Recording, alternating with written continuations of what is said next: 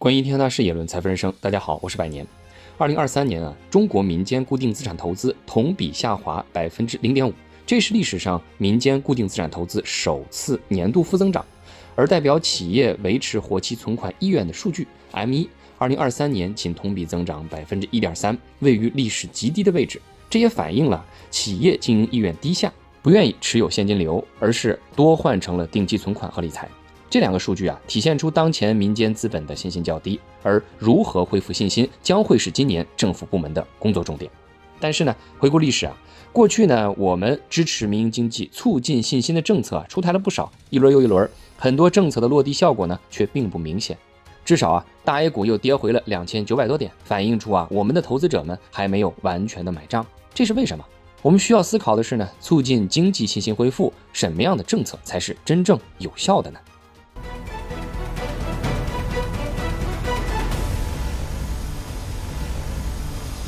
二零二四年开年以来呢，几乎所有政府部门都在开会研究一件事儿，那就是如何促进经济信心的恢复。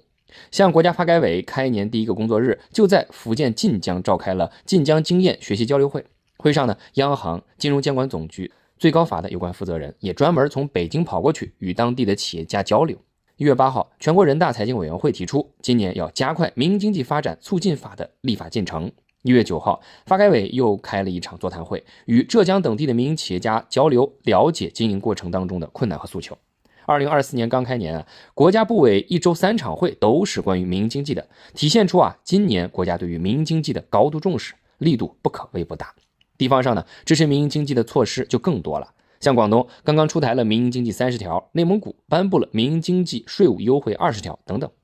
往前回溯啊。这轮各级政府对民营经济的支持啊，起源于二三年七月份国务院发布的总纲民营经济三十一条。再往前呢，二零二二年乃至二零一八年，国家定点支持民营经济的政策啊，数量都有不少。但是呢，从结果来看，目前民营企业对于扩大经营、提供就业仍是有忧虑的。就像视频开头的数据啊，就是最新的例证。非常值得思考的是呢，为什么很多政策字面上看起来很好，但是具体执行过程当中却走了样？民营经济并没有感受到应有的优待和保障，其中一个原因是呢，很多地方政策出台忽左忽右，缺少法律依据，反而让民营企业感受到了不可预测性。对于这个问题啊，最近另一个搞经济改革的国家阿根廷就给我们提供了一个教训。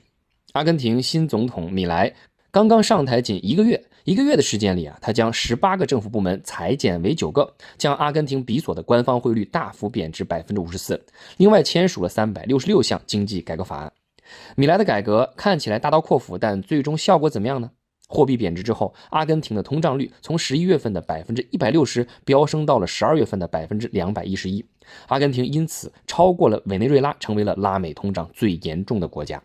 米莱的劳工改革因为涉嫌违法被阿根廷最高法院叫停。由于经济秩序混乱，阿根廷十多个省啊先后宣布进入经济紧急状态，街头抗议增多。中国驻阿根廷大使馆还特别发布了安全提醒。到最后，米莱的支持率两周内下跌了百分之六，二十天的时间里，百分之五十四的阿根廷人反对米莱的经济改革。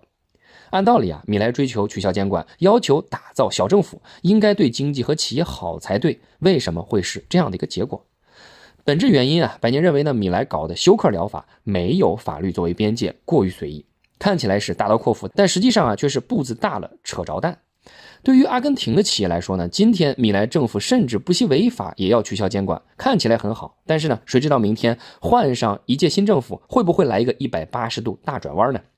过去几十年，阿根廷这种极左极右的转换不要太多，要么就是全盘国有化，严格监管；要么就是全盘私有化，不要监管。到最后啊，历届政府把阿根廷从二十世纪初一个人均 GDP 超过荷兰、追平瑞士的国家，硬生生的搞成了失败国家。与阿根廷相反，上世纪的中国由于计划经济向市场经济转型，就成功的多。相比于大刀阔斧，我们一直讲的是小步快跑。从家庭联产承包责任制建立商品经济，到价格两轨制并一轨制建立市场经济，再到改革国企体制加入世贸组织，我们的经济改革啊，总共用了二十多年的时间。支持民营经济的大方向从来都是一致的，并且呢有同步的法律制度建设，所以才能够成功。而今天啊，有一些地方过于急躁，政策啊恰恰缺乏了法律依据，反而起到了反效果。比如说，最近呢，有一些地方出台了对于民营企业和民营企业家的执法优待，像某些地区的劳动保障部门提出要对民营企业轻微违法行为不予处罚，其中啊就包括未按时给就业者办理就业登记手续、扣押劳动者身份证以及担保或者其他名义向劳动者收取财物等等。扣押劳动者身份证这种行为啊，我国居民身份证法是明确要求要处罚的，没有豁免的情形。现在对于民营企业这种行为不予处罚，是不是违反了上位法，值得商榷。而这样就降低了法律的权威性。再比如，二零二三年某些地方政府发文提出，对于民营企业家实行四不原则，即能不补的不补，能不诉的不诉，能不判实行的不判实行，能不继续羁押的及时予以释放或者变更强制措施，一时是引起舆论热议。抛开地方政府发文影响司法实践的这个瑕疵之外，和舆论想的不同的是啊，四不原则其实早在二零一八年开始就由最高检提出，并在全国范围内实行。为什么要这么做？这是因为啊，过去地方上存在刑事手段干预经济纠纷，一个案子办死一个企业的情况。四不原则呢，是对过去状况的一种纠偏。但是这么多年过去了，民营企业的法治环境有所好转吗？只能说啊，有好转，但不彻底。比如说，二零二二年，《中国新闻周刊》就有报道，有些地方政府因为财政欠收，还是存在乱收费、乱罚款、乱摊派的三乱行为。根据国务院的公开通报，二零二一年，河北霸州出现了大规模乱罚款等问题。内蒙古锡林郭勒盟部分交警为完成创收任务，对过往的货车司机随意罚款，一刀切式的罚款。这种情况啊，显然说明了我们的法治建设还不健全。另外呢，在资本市场上，根据联合早报的报道，二零二三年下半年，因为股市下跌，几家大型的公募基金受到窗口指导，要求避免单日净卖出股票。如果报道是真的话呀，百年只能说这种措施短期内或许可以阻止下跌，但是长期来看，反而违反了资本市场自由买卖的精神。今天因为跌的多了不让人卖，明天人家就不敢来买。对于民营资本也是同理，今天或许感受到了特殊优待，但谁知道明天优待会不会收回去？《左传》著书有云啊：“行不可知，危不可测，则民未上也。”行，也就是法律。如果没有法律的约束的话，所有人都会感到害怕。所以，民营企业其实不需要特殊对待，最需要的反而是健全法治建设、平等对待、一视同仁就可以了。除了存在忽左忽右的问题之外啊，我们的政策在实行的过程当中存在的第二个问题是过大过小或者互相打架。在学术上呢，这被称作是分解谬误或者合成谬误。什么是分解谬误？就是说政策逐级分解以后呢，有硬性指标的政策层层加码，没有硬性指标的政策层层消解。比如说，最近几年政府搞数字化转型，有些地方啊提出了政务 APP 注册使用量的考核，结果呢，考核量层层分解下去之后，层层加码，有的甚至分摊到了学校和幼儿园，加重了基层干部的工作负担，反而没有精力做经济建设的工作。去年十二月份，中央还专门发文要求解决这种指尖上的形式主义。而没有硬性的指标，或者难以提出硬性指标的政策呢，层层分解下去之后，反而会逐渐弱化。比如说保交楼政策，本来呢是一个宏大且重要的工程，需要统一协调，但是呢，因为存在现实的难度，任务拆解到各个部门之后，很多部门完成自己的分内之事儿就结束了，各扫门前雪，不从大局考虑，就没能发挥主观能动性。再比如。从二零一九年起，国务院就专门开会要求政府和国有企业带头清偿民营企业欠款。但是啊，在具体落地过程当中，因为地方政府通常位于强势地位，同级法院和执法机构难以约束，事情啊，经常是不了了之。至今呢，政府拖欠民营企业账款的问题啊，仍然存在。去年的《民营经济三十一条》第六条当中，就依然在强调完善拖欠账款常态化预防和清理机制。而另一个谬误啊，就是合成谬误。就是说呢，单看各个部门的政策都是合理的，但叠加在一起就出了问题。